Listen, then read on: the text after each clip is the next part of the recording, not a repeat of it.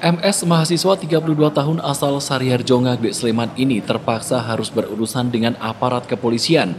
Akibat mabuk berat, MS nekat membacok korban RDS warga Turi Sleman dengan sebilah celurit.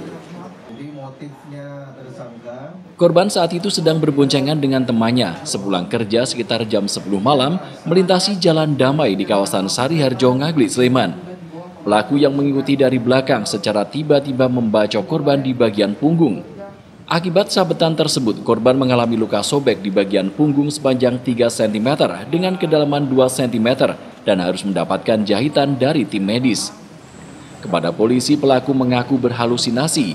Saat melihat korban berboncengan, dia mengira korban adalah pelaku kelitih yang sering meresahkan masyarakat.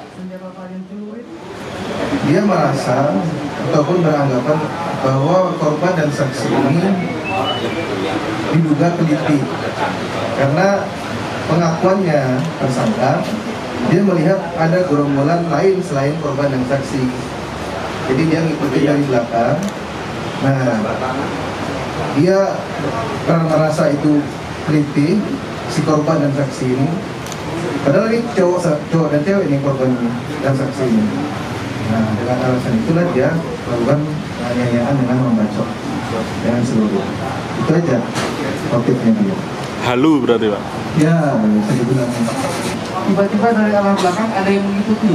Mengikuti kemudian langsung membacok yang uh, saksi dan korban yang sedang mengendari sepeda motor secara berboncengan. Kemudian sempat mengelak yang di depan kemudian yang pertama adalah yang di bagian belakang. Kemudian setelah melewati korban juga sempat memang lagi dari pelaku. Karena pada saat setelah melakukan penganiayaan langsung melarikan diri ke arah jalan Alurang langsung tancap gas. Dari penangkapan pelaku, polisi juga mengamankan sebilah celurit, baju korban, dan kendaraan bermotor. Untuk mempertanggungjawabkan perbuatannya, pelaku MS dijerat dengan pasal 351 KUHP dengan ancaman hukuman 5 tahun kurungan penjara. Fauzan Ahmad, Jogja TV,